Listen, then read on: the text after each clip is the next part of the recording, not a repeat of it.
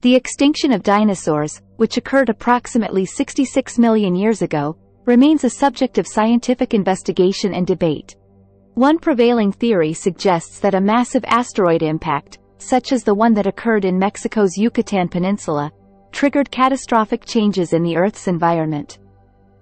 Another theory proposes that prolonged volcanic activity and resulting climate change played a significant role in the extinction, altering ecosystems and food sources. These catastrophic events likely caused widespread devastation, including dramatic shifts in temperature, acid rain, and a decline in sunlight due to dust and debris in the atmosphere. Continue to explore the mysteries of the past and support ongoing research that sheds light on Earth's history and the extinction of species. Mercury's toxic nature is prompting its phased out in various applications, with safer alternatives being embraced to safeguard humans and the environment.